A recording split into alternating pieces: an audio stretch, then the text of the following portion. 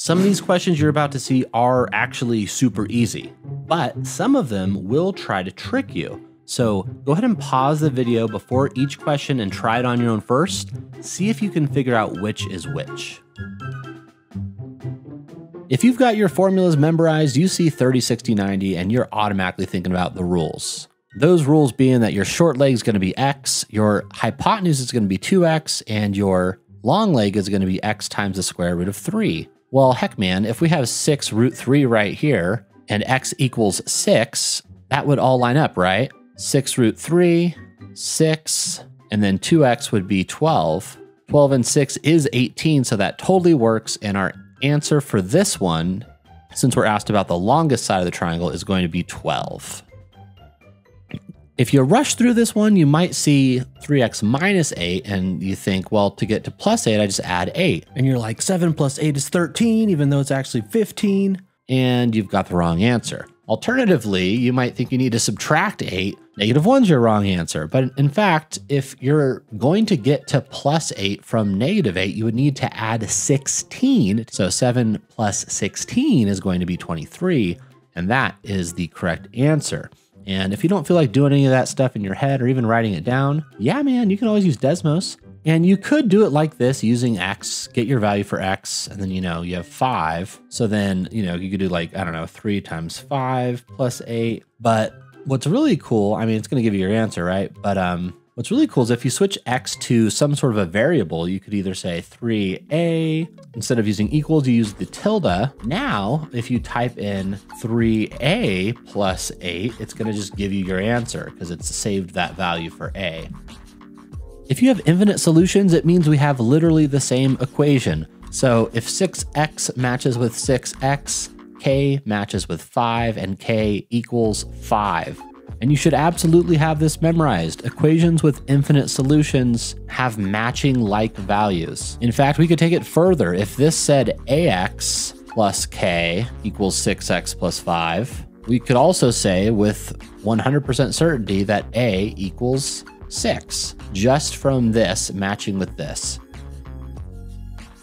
And what you need to know to make this one super easy is the exterior angle theorem, which states that any exterior angle of a triangle such as x, that is a an angle that's outside of the triangle, kind of popping out of the triangle, is going to be equal to the opposite interior angles. So 70 plus 50 is 120, so our answer is 120. And just to reiterate that rule, if we had, I don't know, another line popping out over here, this angle A would be equal to this one and this one combined, right? If this kept going and we were talking about this angle, I don't know, we'll call it M. This would be equal to this angle and this angle combined. So again, that's the exterior angle theorem. Memorize it, super useful. And there's a couple rules on this one that I think make it super easy. The first is just knowing that a straight line like this is 180 degrees, which means if we subtract 110 from this, we're going to get this angle right here. So we know that that is 70. It's also telling us that these two angles are congruent. So this one's 70. And you better know that there's 180 degrees in a triangle. So if we subtract our 70 and 70, that's 140. We're left with only 40 degrees left for angle X there.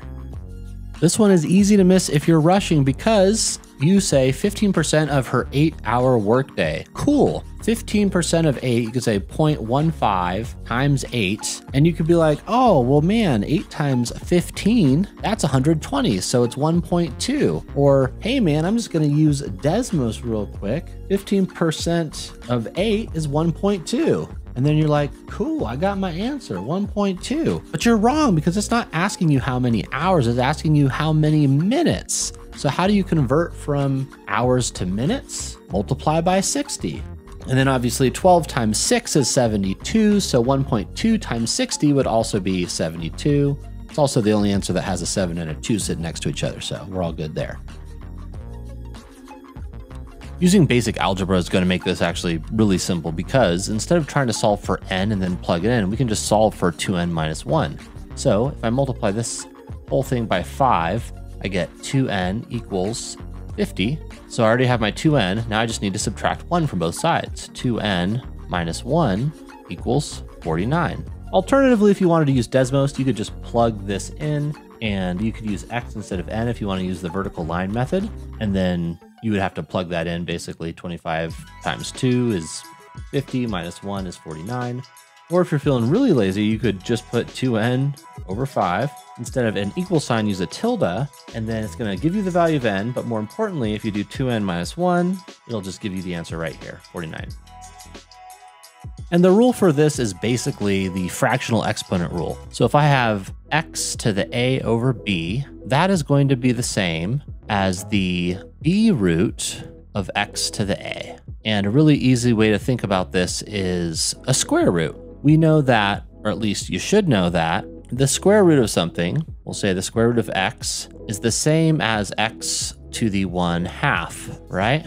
So if we put that in line with the rule here, we have x to the 1 half, that's our a over b, is equal to the square root. We know that a square root has an invisible 2 here, at least you should know, of x to the first power, right?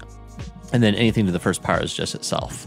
So if you can remember that x to the 1 half is the same thing as the square root of x, it's easy to remember this x to the a over b. You can also imagine a beautiful flower sprouting out of the ground. And if this is our flower and this is the roots of the flower, you remember the flower is the power and the root is the root. So a couple of different ways of memorizing that.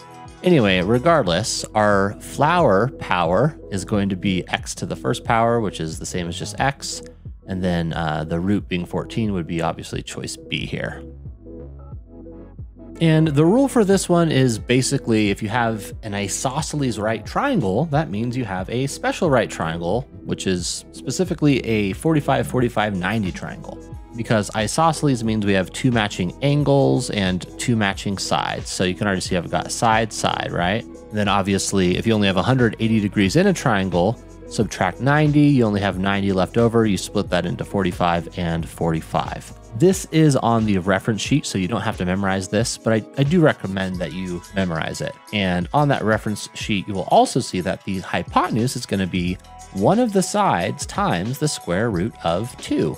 And that's where this can get tricky because if you see that square root of 2, you might automatically be thinking to yourself, oh, this is the rule. So if I have 94 plus 94 and square root of 2, then my sides have to be 94, right? You don't want to jump to conclusions though. Let's actually think about this and let's just think about what the perimeter would be. The perimeter would be all of the sides together, right? Side plus side plus side times the square root of 2. Let's get lazy and plug that into Desmos. Side plus side plus side square root of 2 uh, remember, if we're using s instead of x, we have to use the tilde here instead of equals 94 plus 94 root 2. And now it gives us the value of s, which is what it's asking us. So we have this silly little number, so we know it's either going to be b or d. We put in choice b, 47, times the square root of 2. It is the same number. That is our answer, choice b. All right, so fastest way to solve this guy is to first of all look at sine of b is 5 over 13. So just remember sine, we, we want to remember SOHCAHTOA, so being SOH, which means sine of something is the opposite over the hypotenuse.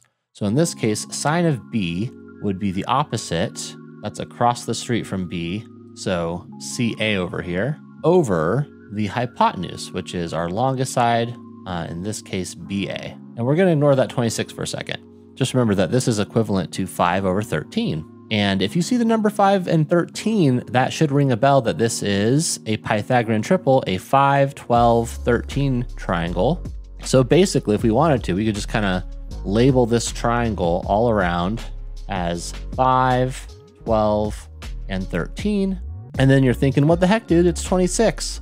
Well, yeah, it's because this is our ratio, the whole thing is getting multiplied by 2. So if this is 26, then this would actually be 24. This would actually be 10. Um, so BC is going to be 24. Now, if you were paying close attention during those problems, you probably noticed a theme. The SAT loves to hide little tricks in what seems like a simple problem. They're testing you not just on your ability to memorize formulas and plug in numbers, they're also testing your critical thinking skills And critical thinking is exactly what you can build using today's sponsor, Brilliant. Brilliant is an interactive way to learn math, science, and logic that makes concepts click. Instead of sitting back while someone lectures at you, you're actively solving problems one step at a time. There's no endless cramming of notes or memorizing pages of equations. You just dive in, you follow your curiosity, and you let the lessons pull you along. The more you experiment with the ideas, the more they stick.